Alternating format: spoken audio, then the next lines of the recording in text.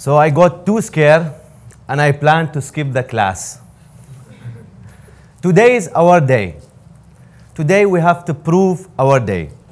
I know most of us are scared and worried. I am also scared.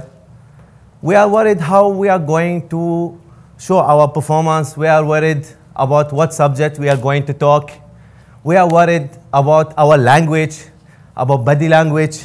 We are worried about many stupid things that come in our mind.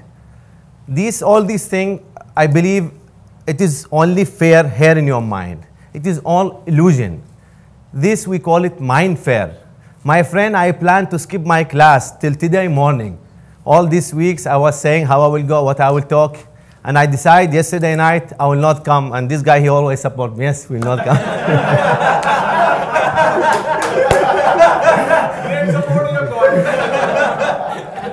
till today morning, I decide, I said, let me go.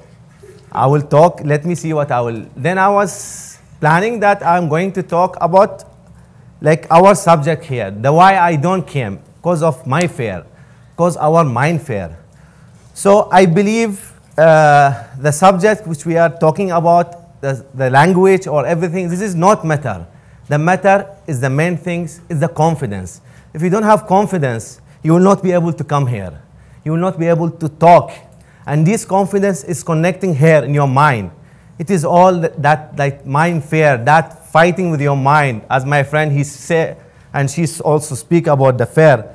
The mind always tell us, don't talk, don't go. You will not speak well. You will not look well. How I will speak? Just go and speak and talk. Don't care about others. Like my friend, he prepared very long badge and he was totally prepared. He did hard work, but his problem was confidence. He was scared. Still, I'm standing here. I have fear. I'm not saying I don't have fear, but I have to face that fear.